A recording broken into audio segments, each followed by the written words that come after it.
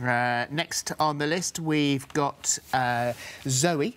Uh, sorry, Georgia, this is for Zoe. Uh, how can I stop my hands, feet and chest from sweating? I'm 18 mm. and after the birth of my baby, I constantly sweat to my face, my hands, my feet, my chest. I've been to the doctors. They said it's uh, hyperhidrosis. Mm -hmm. they said there's nothing they can do and it's very unusual for someone my age. Obviously, said at the beginning, 18. It affects me every day. Oh. I find it oh. embarrassing. What can I do to prevent it? Yeah, so awful. Imagine that, just this constant sweating. Obviously, that can have huge implications for your social life, even though actually medically it's not dangerous.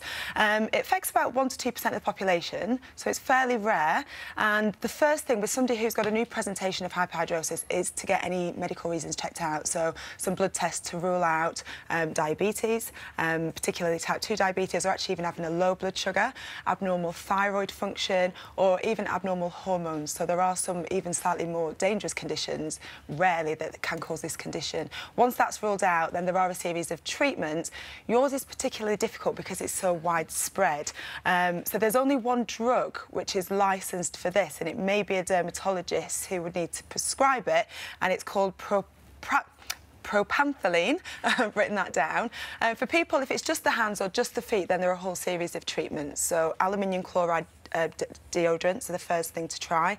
Botox works. It's unpleasant to have it injected into your hands and feet, but that's a really good treatment, actually, for treating hyperhidrosis, but likely to be unavailable on the NHS.